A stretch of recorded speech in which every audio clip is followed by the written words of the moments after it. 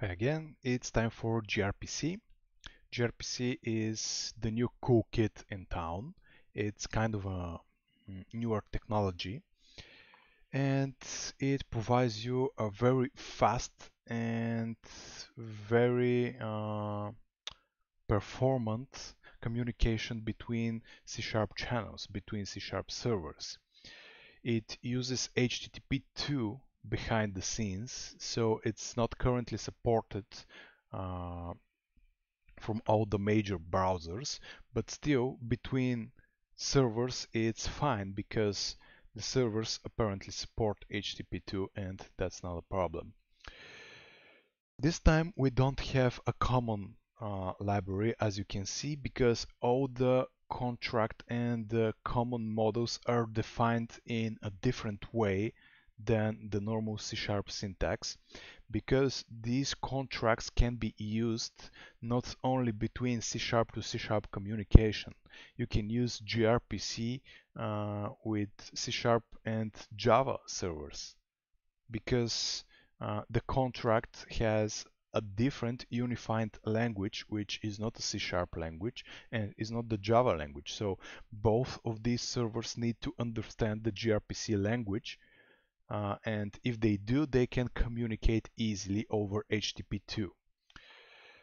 Let's see how to create a server with gRPC. To create a server with gRPC we mm, don't need a controller, we don't need uh, an MVC project at all. What you need to do, you need to create a gRPC gRPC service like this. So you will need to create your ASP.NET Core application with this project template. Of course, you can do it with the normal template and install gRPC uh, on top of it. It's no problem, but if you want to have a quick start, do it from the project type I showed. Then what you need to do, you need to install gRPC ASP.NET Core. That's uh, that's the package you need for the server. Then as you can see, we don't have controllers here. We have a Protos, uh, like from the StarCraft race. uh, a Protos folder with proto files. We will see them in a minute. And we have services, which is uh, essentially a normal C-sharp class.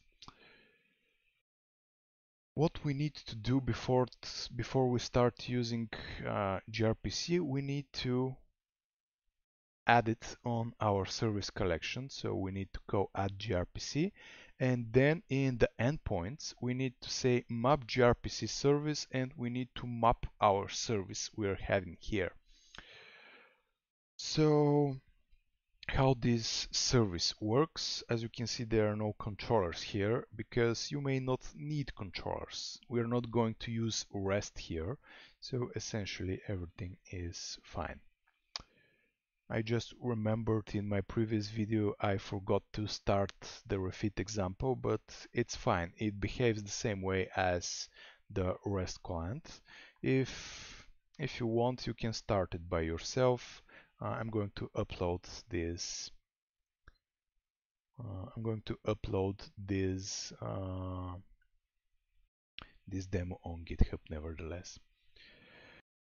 Good.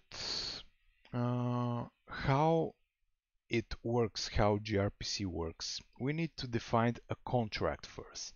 The contract is essentially a proto file with a separate syntax. It's a different syntax from C Sharp and you need to learn it if you want to use gRPC. The bad news is that you need to learn a new language. It's very easy, but still it's new language, it's new syntax. The good news is that every kind of server understands this language. So you can use gRPC mm, as a multilingual microservice architecture, which is very nice. So the syntax should define a service. First, it says that we are using Proto 3 version. We have a C-sharp namespace, which is the namespace of this application. and we are defining the service contract. If you take a look at this, we are saying we want to have a service called weather, which needs to have two methods, save forecast and get forecast. Essentially the same as the controller here. We have two methods, we have get and post, but in this one we are saying we need to have two methods, get and save. Then we need to define messages. I'm defining an empty message, message when you don't need to send data. And I'm defining a message for this weather forecast. As you can see, it's no longer C-sharp file. It's defined as a message. So I don't need to create a weather forecast class like this one. I'm defining it here. I'm saying my weather forecast message has a string summary. Uh, one means the order string uh, temperature. Uh, one and two are nothing else than an order of these properties.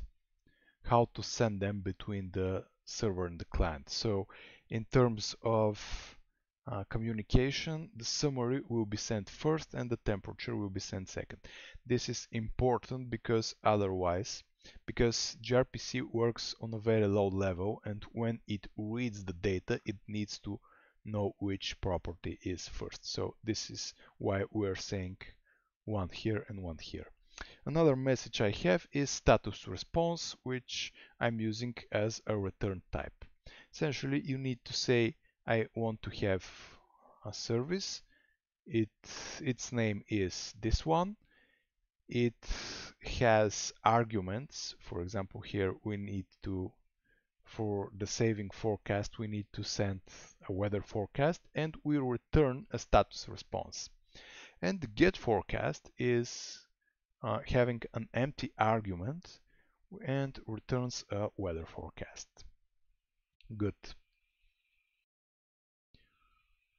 What I also need to do is I need to add this line here, protobuf, specifying the proto the proto service, which is essentially this file here, because when I want to build my application, I need to generate the gRPC service.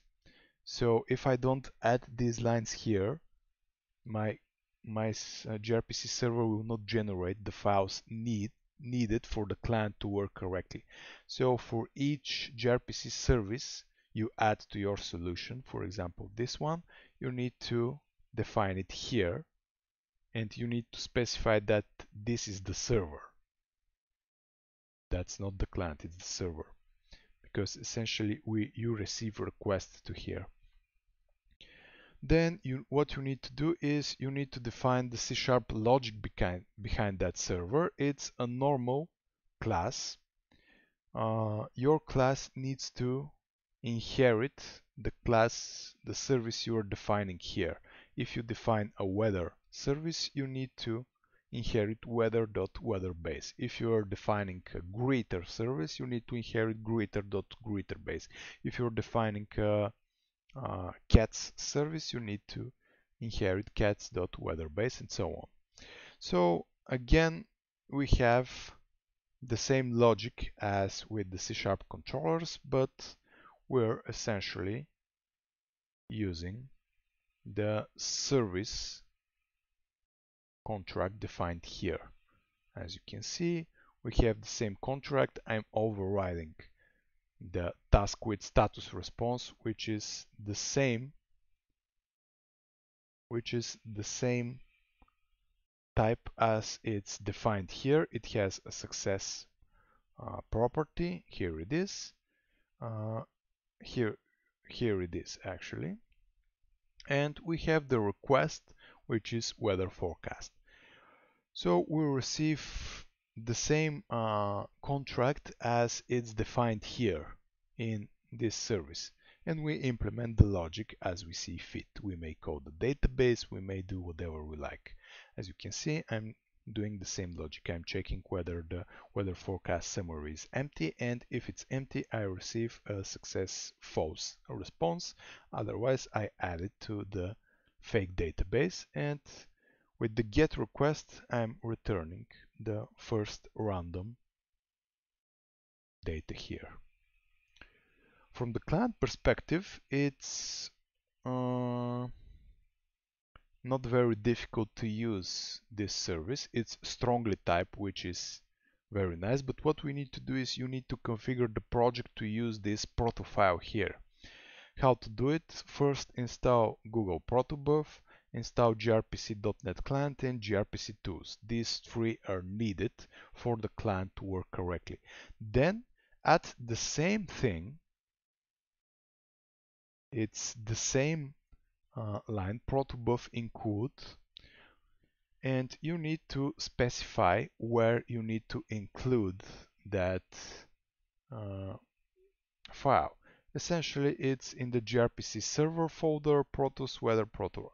I'm giving the folder path to the same Weather Proto uh, file. Both the server needs to reference it here and the client needs to reference it too but the client specifies that it's a client and the server specifies that it's a server, although it's the same file. And if we have that covered, if we specify everything correctly, we install the projects and packages and if we reference the file, then our gRPC should start working correctly. It's very easy you just create gRPC channel for address. You need to specify the address of the other server. Then you need to call give me a client for this channel and then the, the client is used as it's defined in the contract. With say forecast, get forecast, you have this generated classes for you. It's very convenient and very easy the pros of this uh, of this communication let me start it to see that everything is working correctly I'm starting the gRPC server first then I'm going to start client instance and if everything is printing and not throwing any exceptions we have a valid and working communication what are the pros and cons compared to REST. Compared to REST, uh, the cons, maybe it's the only uh, negative side of gRPC that I'm seeing is that it's kind of new. It's too new and not very developer, not, not many developers are familiar with it. That's a negative side because most people know how to use REST, most developer at least. Uh, gRPC is kind of new and it requires you to learn a different syntax. It's not very difficult. As we can see, we define messages and we define service. It's not very difficult, but still, it's something new. So that's uh, a more difficult learning curve. In terms of communication, it's super fast. It's super performant. So if you have a lot of microservices, REST may not work, but gRPC will work correctly. The downside of that is you need to define all the proto contracts. That's the only downside. And you need to keep them in sync between the microservices, but that's normal when we have a server-to-server -server communication. So this is gRPC for you guys. It's uh, a very nice technology. It's new, everybody loves it, and it's super fast. So make sure you try to create a contract. Once again, you need to install on the server this, this package. You need to define your proto file and you need to specify it in the project so that it gets compiled. Otherwise, you will not have, if you remove that, and save the project, you start having exceptions. uh, compile time error, sorry. So uh, in order for compilation to work correctly, you need to specify this uh, proto file here. Otherwise, it's a pure C-sharp language and the client needs to install three packages and needs to include the same proto file. Of course, you you may copy the proto file, but it's better to have uh, the same file referenced by both the server and the client. This is why I'm referencing the file in the server folder because this way I'm sure that if this contract changes in the future, my client will not compile. Otherwise, it will compile if I have two versions of the files. Okay, so thank you guys for watching this video. I hope you like gRPC. Uh, it's nothing more. Essentially, you can start writing gRPC uh, applications. What you can do is you can abstract this uh, these codes here behind an interface so that it will be easier for you to, to use them behind the dependency injection container, but still that's not something we need to cover in these videos. So I'm going to see you in the next one about SignalR.